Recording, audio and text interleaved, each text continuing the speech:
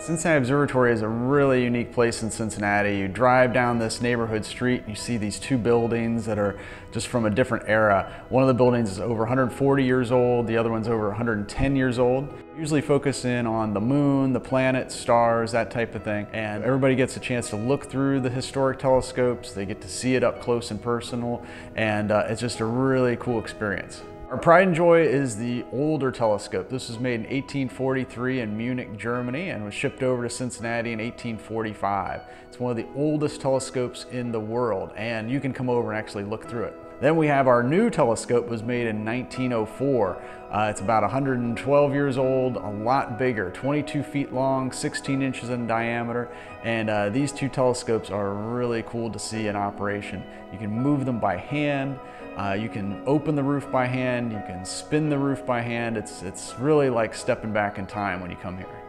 So we also have these great displays on the shelves. We've got scale models of the planets. We have a meteorite, a real rock that fell from outer space in South America. And we also have lots of artifacts from our founder, Ormsby Mitchel, including some of his stuff from the Civil War. And that's what's pretty amazing about this telescope that we have is it was made before the Civil War. So this is some old stuff we have here. It's available to the public. You guys can come check out.